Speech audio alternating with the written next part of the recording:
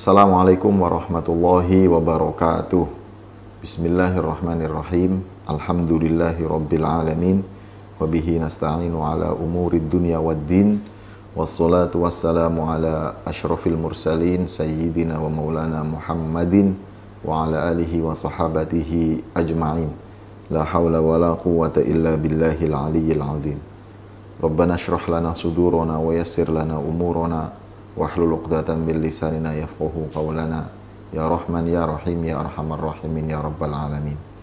Pemirsa sekalian yang dimuliakan Allah Subhanahu wa taala alhamdulillah bulan Ramadan yang kita tunggu-tunggu menjadi tugas kita. Dulu kita minta-minta kepada Allah agar bertemu dengan Ramadan. Mungkin kita juga bisa bertanya kepada diri kita so what setelah ketemu dengan dengan Ramadan ini apakah kita akan tampak biasa-biasa saja ataukah kita akan tampak menunjukkan kesungguhan untuk mengisi bulan Ramadan ini dengan amaliyah-amaliyah terbaik kita. Tentu itu benar-benar berpulang kepada kita masing-masing.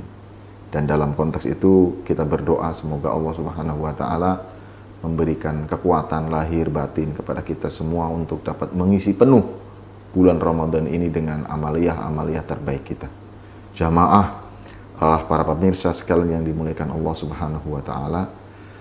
Salah satu uh, kemuliaan, saya ulangi salah satu saja kemuliaan yang ada di bulan Ramadan adalah bahwa ia merupakan bulan diturunkannya Al-Qur'anul Karim. Bulannya mulia. Lalu di bulan mulia ini, di bulan Ramadan ini turun atau Allah menurunkan Al-Quran yang adalah uh, kitab suci yang paling mulia yang yang kita imani bersama.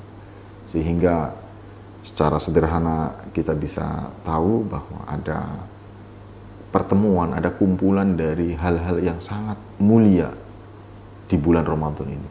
Bulannya bulan mulia. Mulianya misalnya kita sering mendengarkan pitutur dari para guru, dari para kiai, dari para ustadz bahwa amalan kebaikan yang ditunaikan di bulan Ramadan itu Allah lipat gandakan lebih dibanding uh, bulan selain Ramadan. Ini menjadi harusnya ini menjadi motivasi kita untuk terdorong semakin giat di dalam mengerjakan amalan-amalan uh, baik begitu. Kemudian terkait dengan apa turunnya Al-Qur'an di bulan yang uh, mulia ini bulan Ramadan ini maka kita dapat apa mengutip beberapa informasi yang disampaikan oleh para ulama, oleh para tokoh terdahulu bahwa Al-Qur'an itu ada yang menyebutnya misalnya diibaratkan sebagai apa hidangan dari Allah Subhanahu wa taala. Al-Qur'an itu makdubatullah, hidangan yang Allah sajikan untuk kita Al-Quran adalah jamuan, hidangan yang disajikan, yang yang yang disajikan dalam perjamuan untuk kita selaku umat manusia, terlebih selaku umat uh, beriman.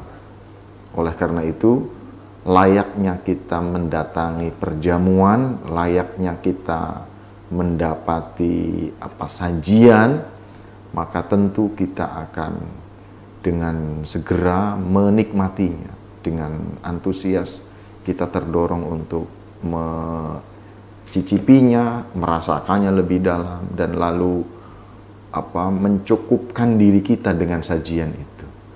Nah, oleh karena itu patut kita semua apakah diri kita ini sudah bersegera, sudah bergegas untuk menikmati jamuan dari Allah Subhanahu wa taala ini berupa Al-Qur'an ini. Seberapa antusias kita menikmati sajian dari Allah yang berupa Al-Qur'an ini. Uh, antusiasme kita tentu saja akan berbanding lurus dengan perolehan kita. Kalau kita antusias dan bersungguh-sungguh untuk menikmati jamuan Allah berupa Al-Quran ini maka tentu akan memperoleh lebih banyak dibanding orang-orang yang tidak antusias mendatangi dan menikmati jamuan eh, dari Allah Subhanahu wa taala yang berupa Al-Qur'an ini. Kita semua berharap semoga momentum Ramadan ini semakin mengokohkan kita untuk menikmati Al-Quran, untuk berlama-lama menikmati Al-Quran. Kita bisa ngukur masing-masing kita, misalnya kita punya kesibukan A, B, C, dan lain sebagainya. Lalu dari seluruh aktivitas keseharian kita ada berapa uh, menit, ada berapa waktu yang kita persiapkan untuk menikmati makdubatullah itu, untuk menikmati uh, hidangan dari Allah Subhanahu wa taala. Jangan sampai kita yang adalah orang-orang beriman kepada Allah Subhanahu wa taala lalu tidak terdorong untuk menikmati uh, jamuan dari Allah berupa Al-Quran ini. Kalau kita adalah bahkan dalam ketidakpahaman kita tentang isi dan kandungan Al-Quran, kita pasti akan tetap merasakan apa khasiat, pasti kita akan merasakan manfaat dari uh, kita membaca Al-Quran, dari kita berinteraksi dengan Al-Quran. Oleh karena itu, siapa pun kita, apakah kita sudah alim, apakah kita masih belum alim apa kalau kita mendekatkan diri e, dengan Al-Quran maka insya Allah kita yakini selalu akan ada manfaat selalu akan ada keberkahan aktivitas kita di dalam kehidupan kita sekali lagi semoga momentum Ramadan pada tahun ini bisa semakin menyadarkan kita untuk semakin mencintai Al-Quran karena Al-Quran sekali lagi adalah disebut oleh Rasulullah Muhammad Wasallam sebagai makdubatullah, sebagai jamuan dari Allah untuk kita umat manusia, untuk kita khususnya umat beriman. Semoga Allah Subhanahu Wa Taala memberikan kekuatan kepada kita untuk senantiasa apa tamasuk untuk senantiasa berpegang teguh kepada Al-Qur'an yang adalah uh, apa makdubatullah itu tadi. Saya kira demikian, semoga ada manfaatnya. Wassalamualaikum warahmatullahi wabarakatuh.